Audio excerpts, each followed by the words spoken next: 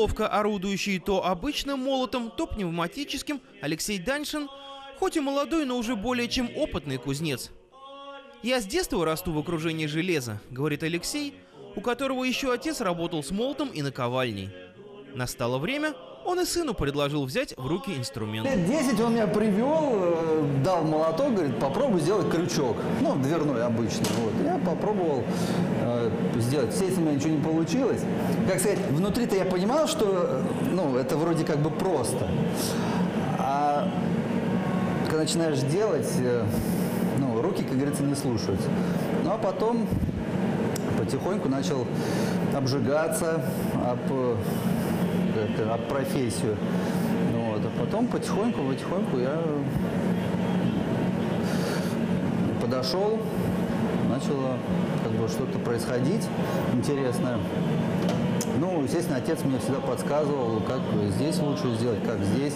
Вот. Я сейчас иногда ему звоню, говорю, пап, как вот э, сделать это? Вот он мне рассказывает, какие стали есть, да, там, э, какая закалка, как э, формы, оправки делать, из чего. В итоге, хотя впоследствии Алексей и получил профессию повара, но семейные традиции оказались сильнее. Так что он уже давно на «ты» с кузнечным инструментом, в совершенстве зная предназначение каждого из этих молотов. Они имеют, э, в первую очередь, разный вес, э, вот, э, раз- разную форму. Ну, допустим, вот этот молоток я использую там для изготовления листиков. Он имеет такой прямой боек. Есть как зубило использовать можно. Вот. Этот молоток для прошивки э, металла используется. Вот. Это ручник. Если не ошибаюсь, до двух килограмм называется руч- э, ру- ручник. Дальше уже идет как бы кувалда. Также Алексей сознанием дела рассказывает о кузнечных клещах, несколько с сожалением отмечая, перед тем, как ковать и гнуть, практически весь инструментарий ему пришлось изготовить самому. В принципе, каждый кузнец изготавливает э, инструмент под себя, э, вот, ну, естественно, сам. Вот. Но ведь на дворе 21 века чего только не продается. Ну вот, э, к большому сожалению, в нашей стране, в смысле не в нашей стране, а э, наши отечественные производители не выпускают э, кузнечного инструмента. Вот. Э, Хотя вот за рубежом э, использование некоторых инструментов, в принципе, если нет лицензии, ты не имеешь права его делать. Почему? Потому что это может быть травмоопасно. Э, Изготовить какую-то оправку для молота, да, и на ней работать, и э, э, во время работы она, скажем, разрушится, да, может повредить, э, ну, нанести, скажем, вред здоровью. Вот ведь парадокс работы кузнеца. При помощи, на первый взгляд, грубой физической силы, а также брутальных инструментов и приспособлений, наковальни, пневматического молота, можно изготовить, например, такие вот изящные листья. Про них и не сразу скажешь, что они металлические. Эти листья, они уже изготавливаются при помощи, скажем, ну, молота, э, вот, при помощи оправок, наковальни. э, Ну это из какого-то плоского куска металла. Нет, это делается из квадрата, то есть То есть он ну, натягивается. когда-то толстый квадрат. Да, да, да, да. А вот эта имитация жилок. Это э, м, используются оправки, вот в данном случае вот, Эти сделаны самостоятельно. Да, ну вот. Пробивается, потом уже потихоньку вытягиваются края листиков, и получается вот такой. То есть это не резко, это именно вытягивание Да, края. да, да, да, да, да. Применение газового горна или других достижений техники определяет разницу между современным кузнецом и его коллегами прошлых веков, говорит Алексей. Например, благодаря пневмомолоту в Аку кузницы могут управляться не кузнецы, а всего один кузнец. А применение сварки вообще стало одним из основных отличий старинной ковки от современной. К примеру, вот я покажу, допустим, вот э, деталь, она вот здесь э, сварена при помощи электросварки. Да, вот. Э, Это удешевляет. Ну, ускоряет процесс, да, и э, это влияет на себестоимость, э, вот. Поэтому люди вот прибегают, э, так сказать, вот А если бы сейчас на дворе был, скажем так, 15 век, как бы это можно было бы сделать? Но э, есть вот такая ковка, но она, скажем, большая редкость, мало кто делает. Из, почему? Ну, из-за того, что очень, ну, в общем, с такой деталью можно проработать э, два дня, вот, чтобы сделать такую деталь. долго? Да, это долго, и, ну, представьте, сколько будет стоить э, вот один А такой элемент. Здесь влияет на удорожание работы, из-за чего они становятся более сложные. Ну, допустим, вот именно этот элемент я изготавливаю полностью вручную, то есть э, без э, молота, да, то есть э, без электросварки, то есть здесь использовали, э, использованы э, заклепки, обжимки, все это вот на наковальне, молоток, зубило, и вот э, была изготовлена такая деталь. Э, э, был у меня такой случай, приезжал э, австриец, вот, он посмотрел и сказал, что у нас, говорит, в Австрии э, очень мало людей, кто может позволить себе такую ковку. Но вообще это, я бы даже сказал, по сравнению вот с такой работой, это очень дорого. А в старину только так и делали. Да. Поэтому, ну, вы знаете, да, что то, что делали раньше, э, сейчас люди пытаются оценить и понимают, что это несоизмеримо. То есть, э, какие раньше были вложения, да, там э, люди делали. И Долго осваивали вот такие, скажем так, аутентичные старинные методы работы? Ну да, тут э, опять же, тут, наверное, надо иметь как бы образ мышления, да, как, как это сделать, чтобы, опять же, была какая-то ну, пластика, вот, соединения, чтобы были на своем месте. Допустим, если вот перенести сюда, она уже будет по-другому смотреться. Два элемента, да, э, здесь подразумевалось только э, заклепки, больше ничего. То есть сделано специально так вот все выведено. Вот, и вот можно посмотреть, какая разница на этих деталях. Работ за плечами уже немало. От скамеечек до больших оград. И Алексей до сих пор помнит самую сложную на данный момент. Делали мы в коттедж э, декоративную перегородку. Вот. В чем там сложность была? Э, ну, там сложность то, что это нужно было соединить со стеклом. Вот. Э, вот. И там, да, были сложности.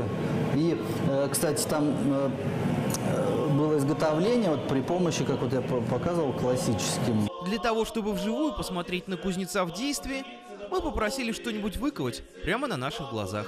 Например, крюк. Алексей надевает рукавицы и, что называется, поехали. Берем пруд, называю правильно круг 10 миллиметров. То есть это обычный металл. Да.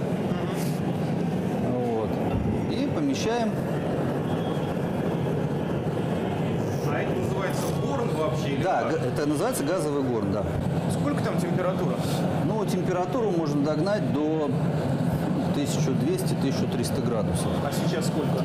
Ну, сейчас ну, где-то, может быть, в районе 1000. Но, в общем, доходит до того, то, что плавится кирпич, то есть внутри. Вот. Естественно, это позволяет э, э, даже иногда я пробую лить какие-то э, ну, бронзу, медь. Вот. Сколько такой пруд надо держать? Ну, вот видите, он уже, то есть, э, в принципе, Что кондицию на глаз подсветит? да, ее видно, да, либо он может, в принципе, и сгореть. Есть, Газовый горн Алексей в шутку называет Везувием. Видимо, помня, что именно в его жерле работал бог Гефест, покровитель кузнечного дела. Да и жарко рядом с горном, как на вулкане.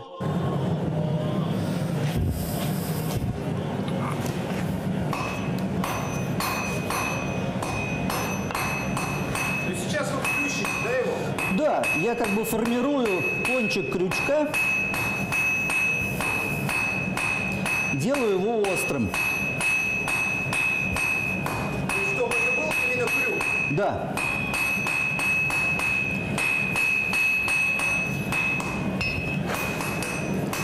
Ну вот металл сейчас остывает, как бы с холодным металлом работать нежелательно, ну и тяжело. То есть нужно время от времени его Да, подогревать. его нужно подогревать. Поэтому э, некоторые работы, вот и э, когда работаешь, э, там, скажем, с большими деталями, вот, они требуют ну, очень много количества. Ну, подходов. Да, да, подходов в горну, да.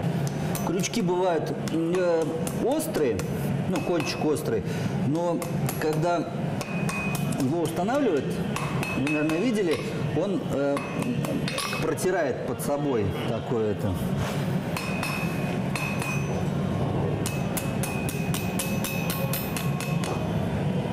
Понимаю, что тут надо не просто стучать по нему, а при этом, чтобы крючок выходил ровно. Да, ну, э, скажем, есть как вот пластику, со- соблюсти Да. пластику. Она, э, ну, как много работ, да, э, они все трудоемкие, да, э, много бывает деталей, но, э, как сказать, не всегда можно попасть вот в какую-то гармонию, да. Далее в дело вступает одно из тех приспособлений, что Алексей изготовил самостоятельно. Ну, Это оправка, кондуктор можно назвать. То есть при помощи э, э, таких приспособлений они облегчают работу. А вы это сами изготовили?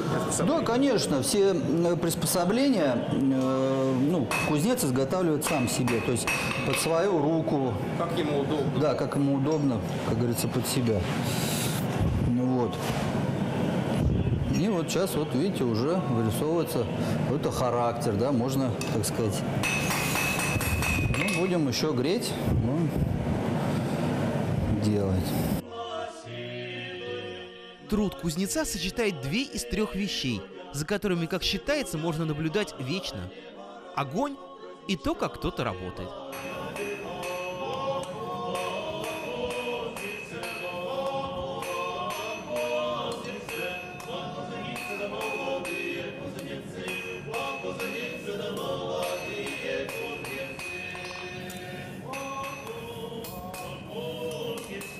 А что мы сейчас будем делать? Ну, она называется э, торсировка, то есть скручивание металла.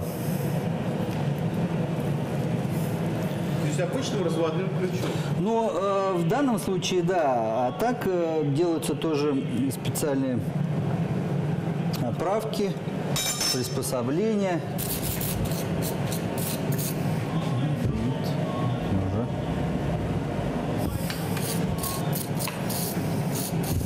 Сейчас мы уже будем придавать такой некий характер.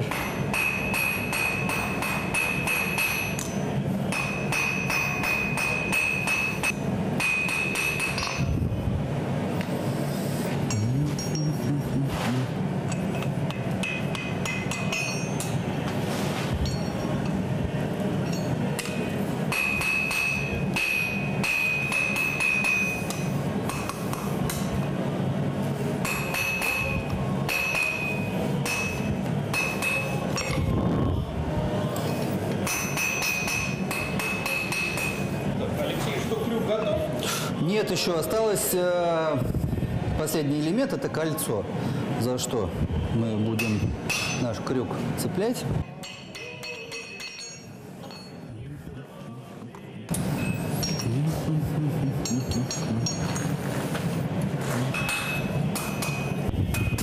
Ну вот уже подходит к завершению изготовления нашего крючка. Сейчас я его почищу.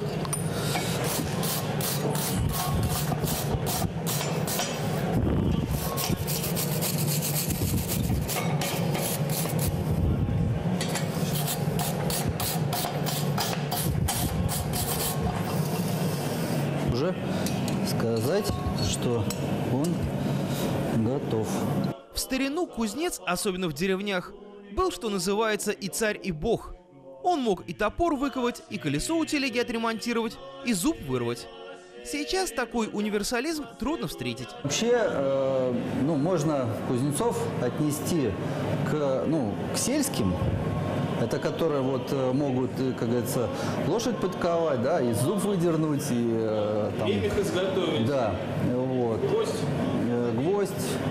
А есть кузнецы, это те, кто вот сейчас в городе, да, которые занимаются именно декоративным, то есть делают художественную ковку. Вот. Это, конечно, разные работы абсолютно. Вот. Но,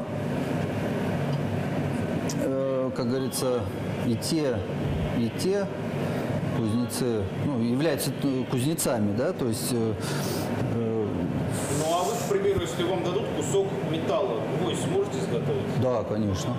В общем, такая вот старинная профессия, обладатели которой, они редкие по нынешним временам представители мужского пола. Причем вдвойне. Могут не только в стену гвоздь забить, но и выковать его сначала.